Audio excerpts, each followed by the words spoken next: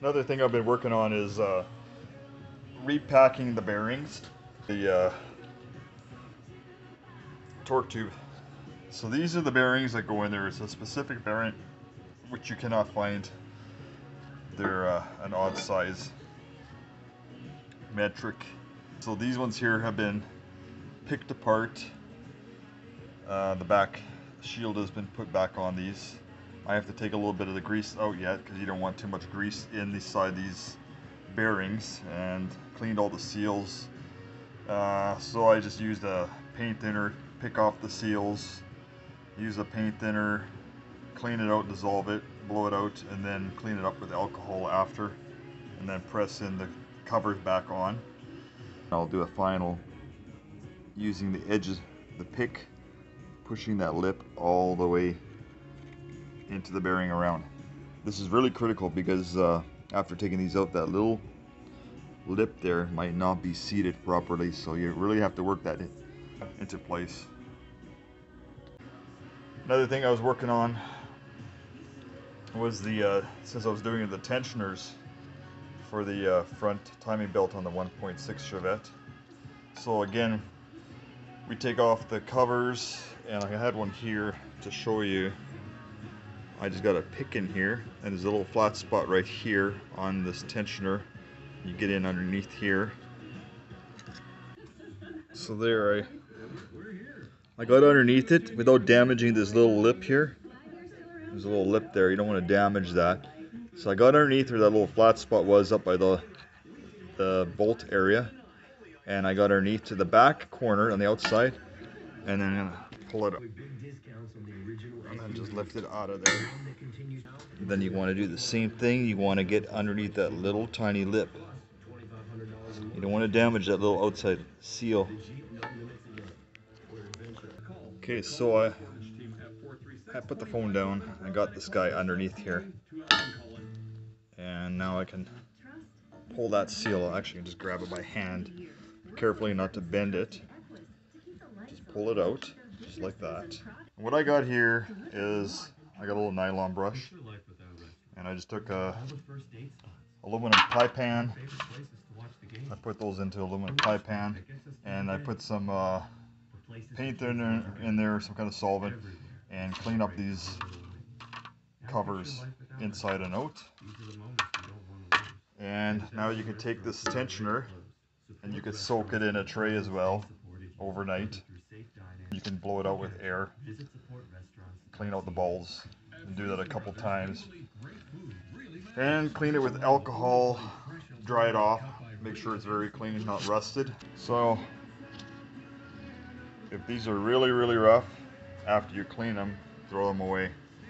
They got to be fairly smooth yet if you're gonna rebuild these. And same with the uh, the bearings for the uh, torque tube drive shaft.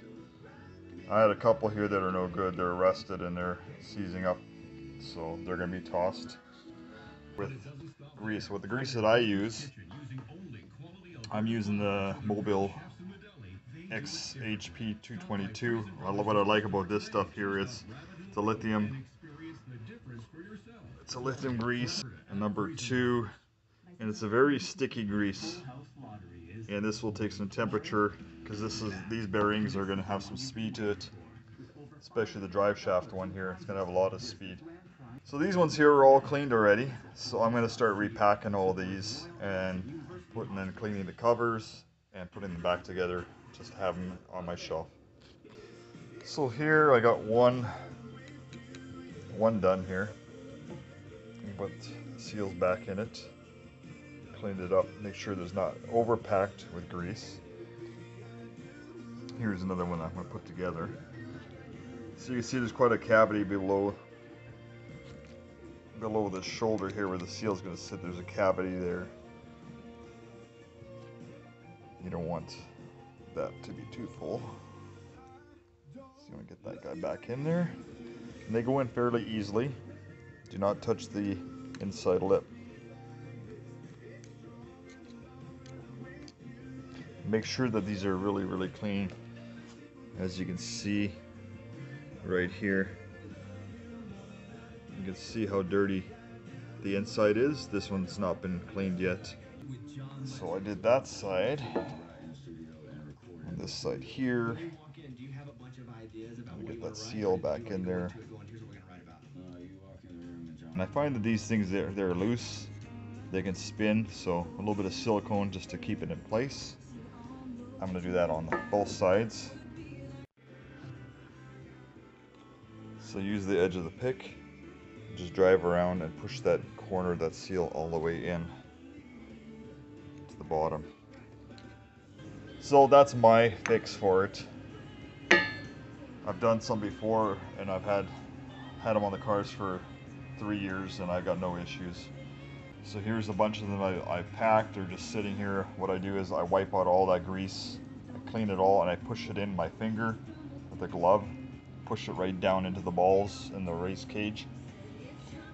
And then wipe it all out with a clean, I use the blue shop towels. Have a nice setup, nice clean area that you can work, cover it up after you're gonna leave it. So we got the seals all put back in on these five here.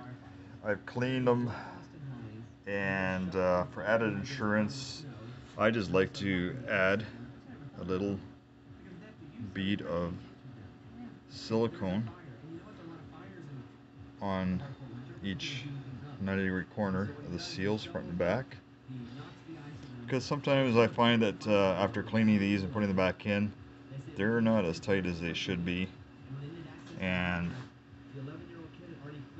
if there's some grease pressure over too much grease it could push the seal out.